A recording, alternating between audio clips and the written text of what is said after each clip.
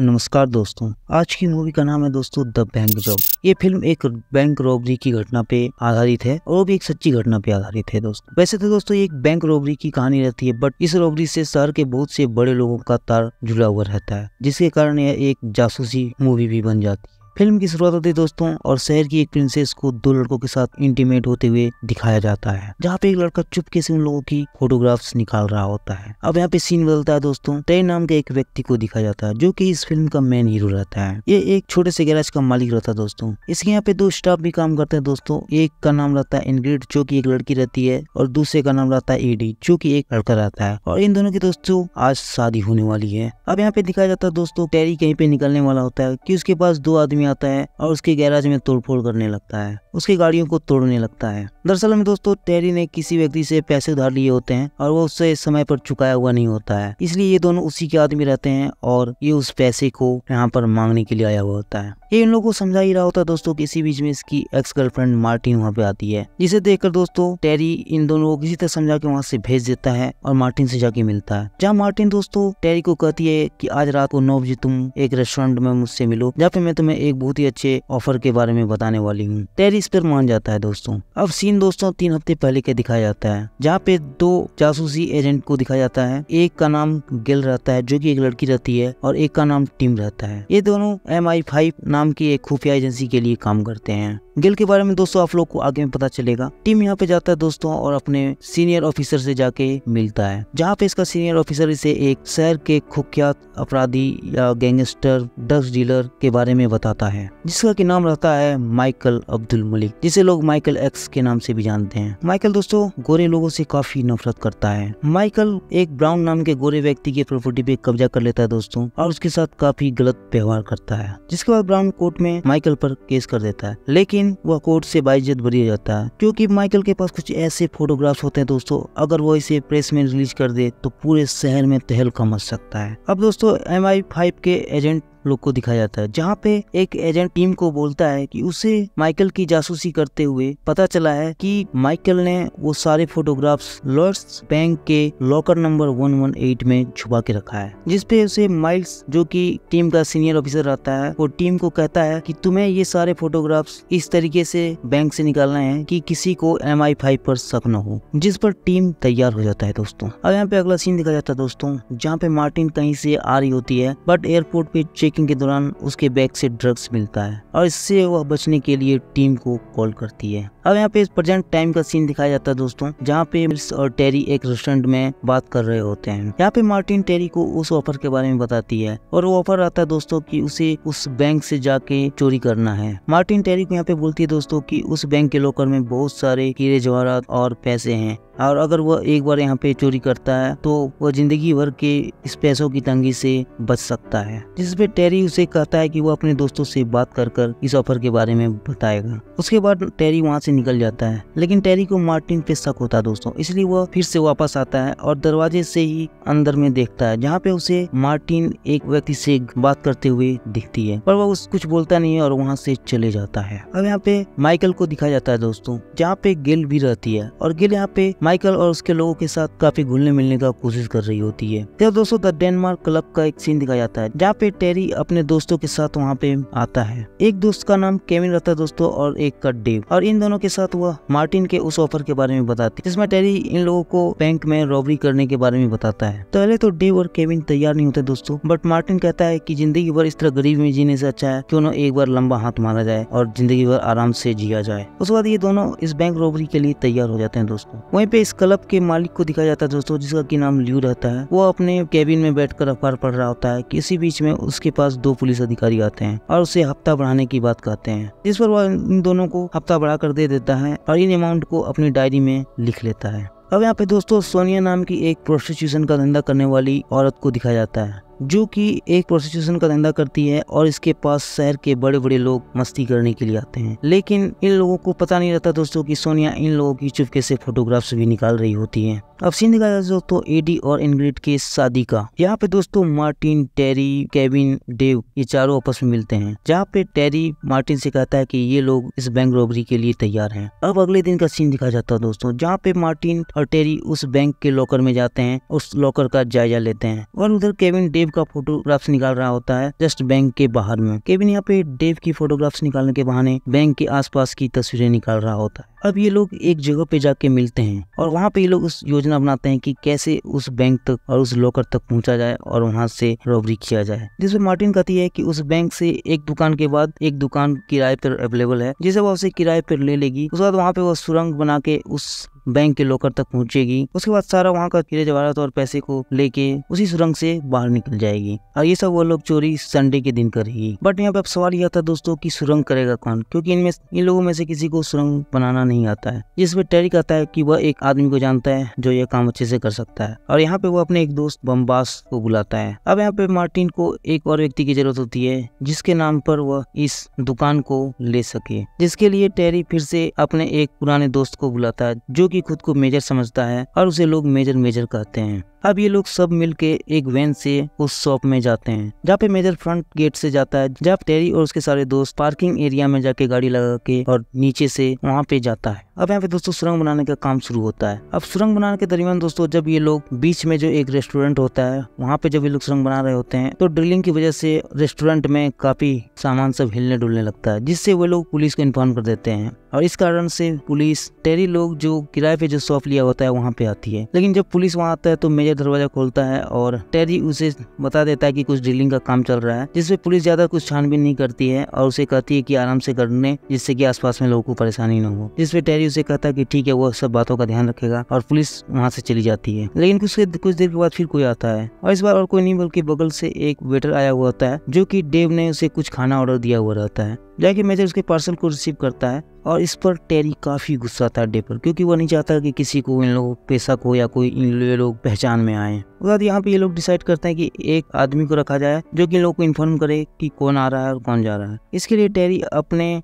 Staff ED को बुलाता है और उसे एक बगल की छत पे एक दूरबीन के साथ और वॉकी टोकी के साथ भेज देता है, जहाँ से ईडी वॉकी टोकी के ज़रिए अगर कोई भी आसपास आता है तो इन लोगों को तुरंत इन्फॉर्म कर देता है। लेकिन जब ये लोग वॉकी टोकी के ज़रिए बात कर रहे होते हैं तो इन लोगों की बातों को एक रेडियो ऑपरेटर भी सुन रहा होता है, जिससे उसे शक हो जाता है कि ये लोग कोई बैंक रोबरी का प्लान बना रहे हैं। अरे दोस्तों एम आई का एजेंट लोग भी इन लोगों पे नज़र रख रहा होता है। अब दोस्तों टेरी जब सुरंग में जा रहा होता है तो अचानक एक जगह का मिट्टी धस जाता है और वो नीचे गिर जाता है, जहाँ पे इन लोगों को पता चलता है कि यहाँ पे पहले से एक सुरंग बना हुआ है, जो कि बहुत ही पुराने जमाने का रहता है। जिसे इन लोग काफ़ी खुश जाते हैं क्योंकि इन लोगों को अब सुरंग बनाने की ज़रूरत नहीं होती है, क्योंकि वह सुरंग डायरेक्ट उस बैंक के लॉकर तक भी पहुँचती है। अभी लोग सीधे उस बैंक के लॉकर तक पहुँच जाते हैं और वहाँ पे नीचे से छेद करने लगते हैं। थोड़ी देर में वहाँ पर छेद हो जाता है दोस्तों और इन लोगों का सीधे उस लॉकर तक पहुँचने का एक रास्ता बन जाता है। जहाँ पे टेरी शुरू में सीढ़ी लगा के चढ़ता है और अंदर जाके देखता है, जहाँ पे देखने के बाद उसे सांस लेने में काफ़ी दिक्कत होती है, क्योंकि अभी भी जिस मशीन से वो छेद किया होता है, उस वजह से वहाँ पे काफ़ी धुआँ रहता है और सांस लेने में काफ़ी दिक्कत होती है। और वहीं से उधर ईडी वॉकी टॉकी ज़रिए बात करता है और ये लोग आपस में खुशी खुशी लोग बात कर रहे होते हैं, जिससे की जो रेडियो ऑपरेटर होता है, वो इन लोगों की बातों को सुन लेता है और वो पुलिस को इन्फॉर्म कर देता है। उसके बाद उस रेडियो ऑपरेटर के पास पुलिस आ जाती है और वे लोग भी इस पे तहकीकात करने लगते हैं इधर टेरी कहता है कि अभी कुछ देर वो आराम करेगा देन उसके बाद रॉबरी का काम शुरू करेगा और ये लोग वहाँ पे आराम करने चल जाते हैं। अब अगली सुबह का सीन दिखाया जाता है दोस्तों, जहाँ पे पुलिस जो है हर बैंक में जाके तलाशी करना शुरू कर देती है। इधर टेरी और उसके सारे दोस्त और मार्टिन सब मिलके उस बैंक के लॉकर में पहुँचते हैं। लॉकर तोड़कर सारा सामान निकालने लगते हैं, जिससे वो लोग बहुत सारा पैसा, हीरे, जवाहरात इकट्ठा कर लेते हैं। इधर Martin locker number one one eight को तोड़वाती है और वहाँ उसका सारा डॉक्यूमेंट जैसा की टीम उसे बोला था की उससे उसे locker number one one eight का सारा सामान देने के लिए वह वह सारा सामान लेना चाहती है। लेकिन टेरी को मार्टिन पे शक होता है, और जैसे ही Martin locker number one one eight को तुड़वा कर उससे सामान लेने वाली होती है, उसी बीच में टेरी जाता है और वह सारा सामान अपने कब्जे में ले लेता है। अब ये लोग सारे लॉकर तोड़ के बहुत सारा पैसा इकट्ठा कर चुके होते हैं, लेकिन इसी बीच में ईडी देखता है की उस बैंक के पास पुलिस आ जाती है, जिससे वह इन्फॉर्म कर देता है। जैसे ईडी और उसकी टीम वहाँ पे काम करना बंद कर देते हैं और रुक जाते हैं। इसके बाद पुलिस और एक बैंक अधिकारी वहाँ पे आता है और बैंक का दरवाज़ा खोलता है और बैंक के अंदर जाता है। ये लोग उस लॉकर तक भी जाते हैं। लेकिन वहाँ पे जाने के बाद वह लॉकर का दरवाज़ा बाहर से बंद रहता है, जिस वजह से बैंक अधिकारी कहता है कि यहाँ पे कोई दिक्कत नहीं है, यह लॉकर तो बंद है। जिससे पुलिस उसे खोलने को भी कहता है बट वो कहता है कि नहीं, यह कल बारह बजे के पहले नहीं खुलेगा, क्योंकि यहाँ पे इसमें टाइम सेट है। बैंक अधिकारी सोचता है की यहाँ पे कुछ नहीं हो रहा, क्योंकि दरवाज़ा ठीक है, इसलिए वो लोग वहाँ से निकल जाते हैं। उसके बाद टेरी फैसला करता है की नहीं, अब जो रॉबरी हुआ है, उतना ही सामान लेके निकल जाएगा, अब यहाँ पे वो लेट नहीं करेगा। और टेरी उसकी टीम यहाँ पे जितने और पैसे निकाले होते हैं, वो उतना ही लेके वहाँ से निकल जाते हैं। लेकिन अब यहाँ पे दोस्तों दोस्तों टेरी प्लान चेंज कर देता है। वो जिस वैन से आया होता है तो उससे न जाके वो दूसरी वैन से निकल जाता है। और जिस वैन होता है उससे दूसरे रास्ते से निकाल देता है। जिसे एम के जो एजेंट होते हैं, जब उस कार का पीछा करते हैं और उसे रोकते हैं तो उसे वहाँ पे कुछ भी नहीं मिलता है। इधर टेरी और उसके दोस्त और मार्टिन सब मिलके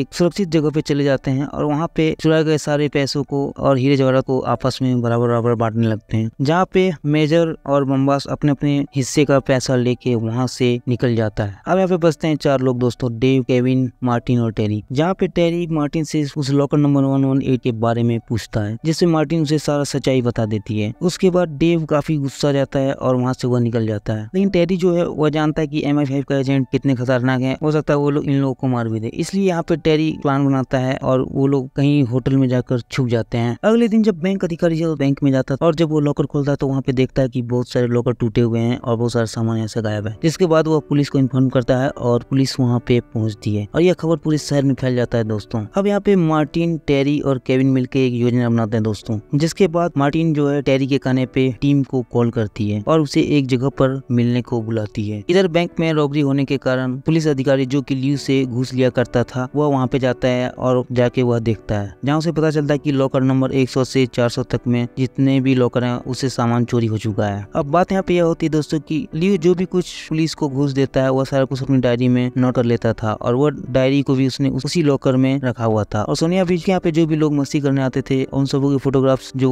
वो खिंचवाती थी, वो सारे फोटोग्राफ्स भी उसी लॉकर में रखी थी। उस वक्त लीव को दिखाया जाता है दोस्तों, जो उस पुलिस अधिकारी से बात कर रहा होता है। जहाँ पे लीव उस पुलिस अधिकारी को बताता है कि उसने उस डायरी में सबों के नाम लिखे हुए हैं और इस वजह से वह और वो पुलिस दोनों भी फंस चुका है। इधर लीव और पुलिस अधिकारी उन चोरों को ढूँढने लग जाते हैं दोस्तों, जो इस बैंक को चोरी किया है। और जहाँ पे इन लोगों को पता चलता है कि यह चोरी जो है, टेरी और उसके साथियों ने मिलकर किया है, जिसमें कि वे लोग डेव को पहचानते हैं और डेव को पकड़कर अपने पास ले आते हैं। यहाँ पे डेव के साथ काफ़ी टॉर्चर किया जाता है दोस्तों, और टॉर्चर करके उससे सारा सच निकलवाने की कोशिश किया जाता है। लेकिन उससे कुछ खास पता नहीं चलता है ल्यू और उस पुलिस अधिकारी को। उसके बाद वह पुलिस अधिकारी टेरी के गैराज में जाता है और वहाँ से जाके ईडी को पकड़ के ले आता है और साथ ही साथ इनग्रेड को एक नंबर देता है और कहता है कि अगर तुम्हारा बॉस टेरी तुम्हें कॉल करे तो उसे यह नंबर देना। इधर टेरी अपने बीवी और बच्चों को रॉबरी स्टार्ट होने से पहले ही एक सुरक्षित जगह पर पहले ही भेज देता है। इधर टेरी अपने हिस्से का सारा पैसा ले जाके अपनी बीवी को दे देता है। इसी बीच में टेरी इनग्रिड को कॉल करता है, जहाँ पे उसे पता चलता है ईडी को उठा के वे लोग ले गए हैं और एक नंबर दिया गया जिसपे उसे कॉल करना है। जहाँ पे टेरी उस नंबर पे कॉल करता है, जहाँ पे उसकी बात ल्यू से होती है। ल्यू से कहता है की उसने उस बैंक में एक डायरी रखी थी और वह डायरी तुम्हारे पास होगी, वह डायरी ला दे दो। इसमें टेरी कहता है की उसे उस डायरी के बारे में कुछ भी मालूम नहीं है, क्योंकि उसे कुछ भी पता नहीं रहता है, जिस पर वरिष्ठ पुलिस अधिकारी डेव को गोली मार देता है, जिससे डी काफ़ी घबरा जाता है और टेरी को बताता है कि उसने डेव को मार दिया है, जिससे टेरी तुरंत भाग कर जाता है अपने उस वैन में, जहाँ पे उसने उस चोरी किए हुए सारे सामान को रखा हुआ होता है, जहाँ पे वह ढूंढता है तो उसे एक डायरी मिल जाती है। उसके बाद टेरी उस डायरी को लेता है और मार्टिन और केविन के साथ मिलकर एक योजना बनाता है, जिसमें वो पैडिंगटन रेलवे स्टेशन पर ल्यू को कहता है की कल ग्यारह बजे तुम वहाँ पे आके मुझसे मिलो, जहाँ पे वह उसे वह डायरी दे देगा। उसका तो वह टीम को कहता है की पेडिटन रेलवे स्टेशन पे मिलो और वहाँ पे मिलने के बाद तुम उसे इस शहर से बाहर जाने के लिए एक पासपोर्ट और ज़रूरी डॉक्यूमेंट्स देना होगा, जिसके बदले वह इसे सारे फोटोग्राफ्स दे देगा और उसे भी ग्यारह बजे पेडिंगटन रेलवे स्टेशन पर बुलाता है। इस पे टीम रेडी हो जाता है। इधर अब टेरी, केविन और मार्टिन एक साथ निकलते हैं, जहाँ पे टेरी उस डायरी से एक पन्ना फाड़कर केविन को देता है और केविन को एक ईमानदार पुलिस ऑफिसर, जिसका की नाम रहता है रॉय गिवेन, उससे जाके मिलने को कहता है, जो की इस रॉबरी की घटना पे तहकीकात कर रहा होता है। केविन इधर उस पन्ने को लेकर रॉय गिवन से जाके मिलता है और उसे सारी सच्चाई बता देता है। इधर टेरी और मार्टिन पैडिंगटन रेलवे स्टेशन पे जाते हैं और वहाँ पे एम आई फाइव के एजेंट से मिलते हैं, जिधर और साथ साथ उधर ल्यू भी एडी को लेकर आ रहा होता है। लेकिन ल्यू के साथ जो ब्रश पुलिस अधिकारी रहता है वह एम आई फाइव के एजेंट को देख लेता है और पहचान जाता है और वहाँ से वे लोग भागने लगते हैं। इधर एम आई फाइव का एजेंट आता है और टेरी को उसके सारे डॉक्यूमेंट्स उसे दे देता है और उससे वो सारे फोटोग्राफ्स ले लेता है। इधर टेरी जल्दी से वो सारे डॉक्यूमेंट्स लेता है और ल्यू की तरफ़ दौड़ता है। जहाँ पे वो स्टेशन के जस्ट बाहर जाता है और ल्यू को पकड़ लेता है और उसे मारने लगता है। लेकिन इसी बीच में ल्यू का एक आदमी टेरी पे गोली चला देता है, जिससे की टेरी बच जाता है और एक ईटा उठाकर उस पर हमला करता है और उसकी बंदूक को गिरा देता है। लेकिन इसी बीच में वहाँ पे पुलिस आ जाती है और उन सबको गिरफ़्तार कर लेती है। इसके बाद रॉय गिवन टेरी केविन और ईडी को छोड़ देते हैं। यहाँ पे टेरी रॉय गिवन से बोलता है कि उसके पास वो डायरी है जिसमें कि इसने सारे पुलिस अधिकारियों के नाम लिखे हैं। और उसके बाद टेरी रॉय गिवन को वो डायरी दे देता है। जिस, उसके रॉय गिवन इन लोगों को छोड़ देता है और उस भ्रष्ट पुलिस अधिकारी को और ल्यू को गिरफ़्तार कर लेता है। और यहाँ पे आगे में देखा जाता है दोस्तों, क्योंकि एम आई फाइव के पास मार्टिन एक्स की सारे सबूत मिल चुके होते हैं। इसलिए टीम बहुत से पुलिस के साथ उसके फार्म हाउस में पहुँचती है और उसे गिरफ़्तार कर लेती टीम माइकल के फार्म हाउस में गिल को काफ़ी ढूंढता है, बट गिल वहाँ पे उसे नहीं मिलती है, क्योंकि माइकल को पता चल जाता है कि गिल एक जासूस है और वह उसे मार के अपने फार्म हाउस में ही दफना देता है। वहाँ पे ढूँढने के बाद टीम को उसकी लाश मिलती है, जिससे की टीम को काफ़ी गुस्सा आता है और वह माइकल के पूरे घर में आग लगवा देता है। और यहाँ पे कुछ दिनों के बाद का सीन दिखाया जाता है दोस्तों, जहाँ पे की टेरी, मार्टिन, केविन और टेरी की वाइफ ये सब मिलके एक पार्टी कर रहे होते हैं। तब दोस्तों मार्टिन, टेरी और केविन से अलविदा करती है और निकल जाती है। वही दोस्तों लास्ट में देखा जाता है की टेरी जो है अपने वाइफ और दोनों बच्चे के साथ एक बीच किनारे सीप में इंजॉय कर रहे होते हैं और फ़िल्म यहीं पे समाप्त हो जाती है दोस्तों। इस फ़िल्म में दोस्तों बम्बास और मेजर ये दोनों